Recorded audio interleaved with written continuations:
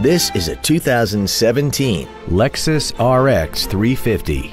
This crossover has an automatic transmission and a V6.